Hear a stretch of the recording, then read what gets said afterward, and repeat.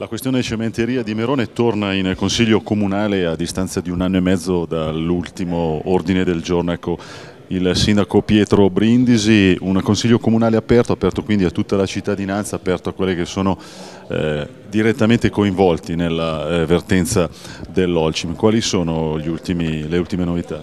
Le ultime novità sono che il contratto che hanno firmato i dipendenti di Olcim mira un pochino a, ad ammortizzare quelle che sono le le questioni economiche e sociali, però la parte istituzionale, il Comune di Merone, soprattutto il Consiglio Comunale, deve fare la sua parte per coinvolgere gli altri enti sovracomunali e quant'altro.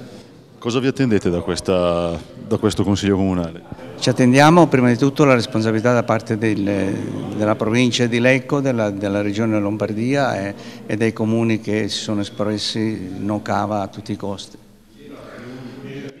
La partecipazione è sicuramente massiccia da parte di quelli che sono i dipendenti che hanno fino a qualche tempo fa rischiato il posto di lavoro, un accorgimento quello della cassa integrazione che può soddisfare ma non fino in fondo. Beh, chi resta senza lavoro a 50 anni io dico che purtroppo diventerà un esodato perché il mercato del lavoro è molto chiuso, è chiuso per i giovani, figurarsi per i meno giovani. A suo parere, Sindaco, il Comune di Merone in tutti questi anni è vittima nei confronti della cementeria o eh, parte in causa dal punto di vista positivo? No, non è vittima. La, la, la, cementeria è stata una grande azienda, è una grande azienda che produce cemento e vogliamo che continui a fare questo, però con il Comune si è comportato sempre in modo serio ed elegante.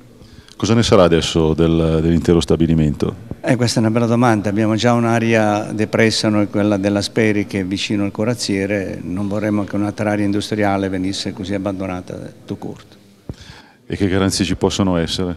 E queste purtroppo non ci, sono, non ci sono garanzie, l'azienda continua a dire che manterrà l'attività produttiva e commerciale sul, nel sito di Merone, però il tempo ci dirà se questo è vero. Che rapporti ci sono con la proprietà da questo punto di vista? Ma sono buoni, ci siamo incontrati anche settimana scorsa con l'amministratore delegato, il dottor Corpina, abbiamo scambiato quattro chiacchiere qui e mi sembra che il, istituzionalmente i rapporti ci sono, ecco. loro continuano a mantenere fede a quelle che sono le premesse e le promesse per pagare quello che devono al Comune di Merone.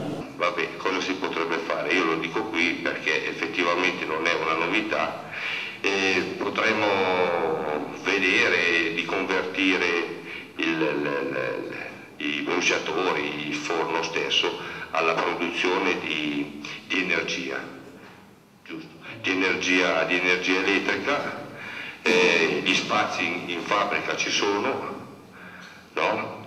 e, e niente, perciò la mia introduzione era questa idea, questa novità di commutazione del, del coso, il resto che venga.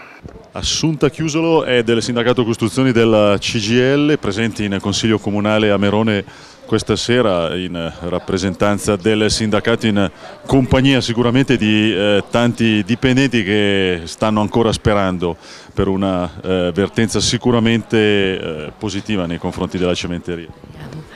Allora, speriamo che sia positiva, sicuramente il cammino è ancora lungo. Abbiamo realizzato un accordo con le altre organizzazioni sindacali presenti sul territorio, con i colleghi, un accordo eh, che garantisce eh, due anni di ammortizzatori sociali. È stato ratificato questo accordo eh, presso il Ministero delle, eh, del Lavoro di Roma e eh, perlomeno garantisce un ammortizzatore sociale, una rete di sicurezza per 24 mesi.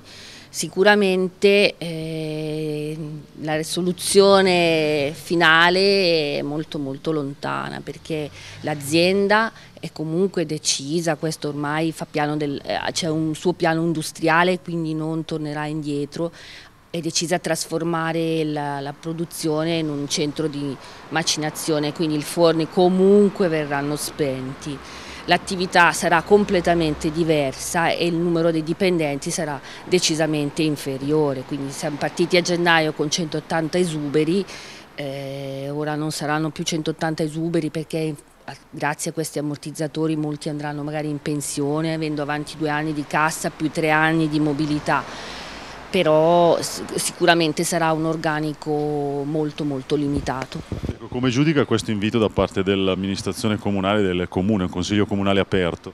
Eh, molto bene perché in effetti dobbiamo dire che il sindaco eh, e anche la cittadinanza ci ha, ci ha, sostenuto in questa vertenza, vuoi perché sul territorio è una delle aziende più significative, sicuramente più significative, ha anche una tradizione di più di 80 anni, quindi è, è, fa parte è, del tessuto vivo insomma, di Merone e dintorni dell'Erbese. Quindi dal, fin dal primo momento il sindaco ha dato tutta la disponibilità e la solidarietà alla, ai lavoratori della Olcim e sostegno alle organizzazioni sindacali che eh, hanno in qualche maniera cercato di costruire un percorso perlomeno, non dico chiaramente condiviso perché non può essere condiviso quando si va a parlare di licenziamenti, però un, eh, qualcosa che possa far comunque sperare in un domani, dovendo magari anche cambiare il mercato, vedere eh, che, cosa, che, che cosa si potrà fare di questa cementeria anche se non produrre cemento, noi vedremo, vedremo come affrontare la situazione.